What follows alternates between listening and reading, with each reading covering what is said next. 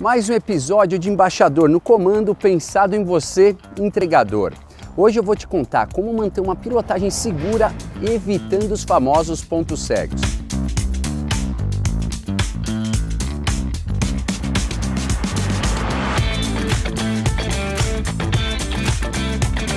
Quem pilota todo dia sabe quantos pontos cegos podem ser perigosos.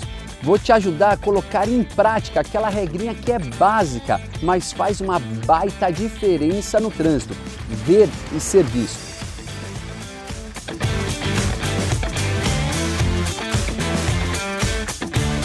Você tem que entender que o carro tem vários pontos cegos, como a coluna A, coluna B e coluna C. Fora isso, o motorista ainda tem três espelhos retrovisores e na maioria das vezes ele pode não estar tá te vendo.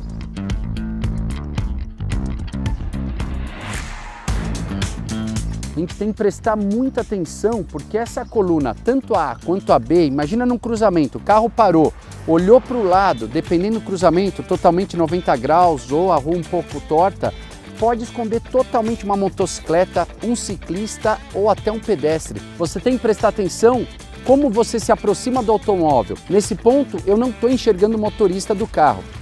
Agora, se eu colocasse minha motocicleta aqui, eu estou enxergando. Isso quer dizer que ele também está me vendo e eu vou ter muito mais segurança. Então, se você está de carro, parou, olha, olha de novo, leva o corpo para frente, busca uma visão maior, não saia de uma vez. A mesma coisa acontece nessa coluna, na coluna B. E dependendo da posição do cruzamento, você vir muito na lateral também é perigoso. Sempre se coloque num campo de visão melhor para o motorista, porque se você vê, você também pode ser visto. Toma cuidado também para você se colocar no campo de visão do retrovisor central, do para-brisa.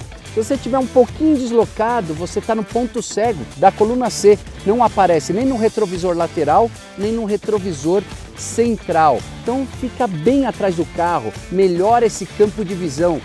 E se o carro já tem vários pontos cegos, imagine o caminhão. Esse é o campo de visão do motorista do caminhão, já com os retrovisores devidamente acertados.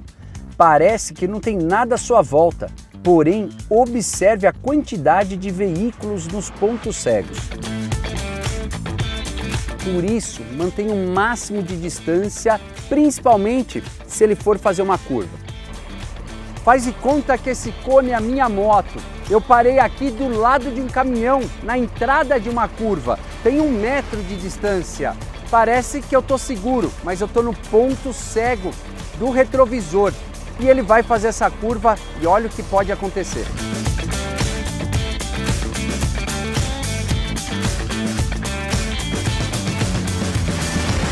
E para melhorar a sua visão e a segurança, mantenha os espelhos originais na posição correta e ajustado para a sua estatura.